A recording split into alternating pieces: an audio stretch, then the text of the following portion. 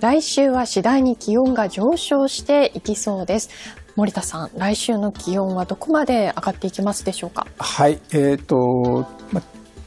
天気も良くなるんですけども、うん、暖かい空気も入ってくるということで、うん、かなり上がりそうなんですね。はい。はい、で、えっ、ー、と上空の流れ、えっ、ー、とだけまず見ていただきますと、えー、日本近辺にこう南風が入りやすい状況というのがこれからしばらくの間続くんですね。はい、で、えー、この暖か高く湿った空気これ雨ももたらすんですけども、うん、晴れればですね暖かい空気ですので気温を相当上げるような、うん、えーと、ものに変わってくるということになるんですね。はい、ということで日本上空に暖かい空気が入りますので気温がこんな感じになるんですね。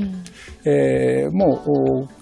東日本、西日本、30度以上の日が来週続くような形になってきそうということですね。で、はい、大阪あたり見ますと来週火曜日以降なんですけども、えー、5日間連続で、えー、真夏日、うん、東京も来週後半、えー、3日連続30度というような状況になっているんですけども、はい、来週中以降、まあ、天気が晴れればという状況になるんですけどもね、はい、えー、こういった晴れの天気がもたらされた時には、30度以上の日が結構多くなってきますというふうに思っていただければと思います。はい、晴れればというね条件がついていましたけれども、今のところ予報もしっかり晴れということで気温上がっていきそうです。25度前後、夏日の日がね最近多く比較的過ごしやすかったですけれども、30度真夏日になってくるとね一気に暑く感じられるかと思いますので、はい、本格的なね暑さのシーズン、暑さ対策、熱中症対策しっかり行ってお過ごしください。